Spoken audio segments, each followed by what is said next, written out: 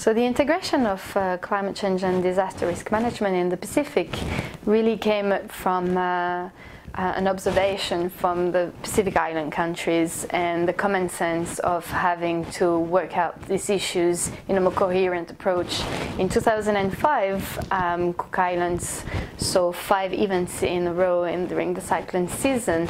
And uh, 2008, 2009, uh, the, a lot of the Pacific Island countries uh, come together and uh, started to discuss uh, about having uh, uh, creating JNAPs, Joint National Action Plans, that would make more sense for the policy and co coherence in the policy approach for addressing those two issues. With regards to the two issues and the strong national support, this uh, uh, dynamics was taken to the regional level. Um, after a few consultations in 2016, the leaders adopted the Framework for Resilient Development in the Pacific, the FRDP, which really is an integrated approach for climate change and DRM in the Pacific. The rationale uh, for integrating both is uh, really a common sense for the Pacific, as I said very earlier. Um, it's um, it brings common resources together, it avoids duplications, it is um, increasing coordination between actors, um, and uh, it makes uh, a better use of scarce resources in Pacific Islands where sometimes there is limited human resources, limited financial resources, limited capacity.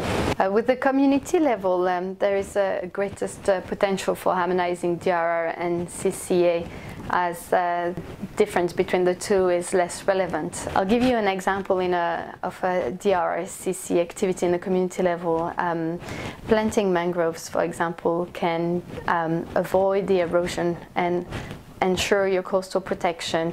Um, the erosion that is, of course, uh, going to happen with the climate change impacts that, that are going to be seen more and more in the coming years. Um, and the mangroves is also a carbon sink as well, protecting your community for, let's say, the storm surge that can happen with a cyclone event.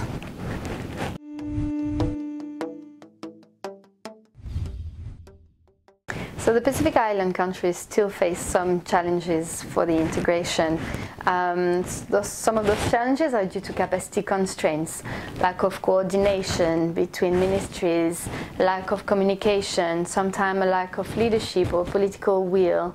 Um, and um, we also observe at the national level um, that there is uh, still a, a, difference between the um, global frameworks that are still separated and uh, this integration of the two frameworks is a global first. So sometimes the donors still have an approach that is uh, separated and, and for countries implementation it's difficult to have this integration we also observe that uh, the quantifying the impact of uh, and measuring the impact of DRM and CC activities when we monitor and uh, we want to uh, um, evaluate the activity, it can be a little bit difficult because the impact of those activities sometimes come to a mid to a long term and this can be hard for countries to measure and to justify the value of having this integration.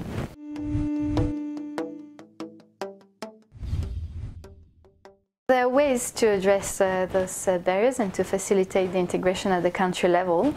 Um, one could be to have a strong political will, uh, leadership at the national level, maybe a champion that can promote these ideas. You also want to have uh, all your stakeholders involved in uh, enhancing the integration.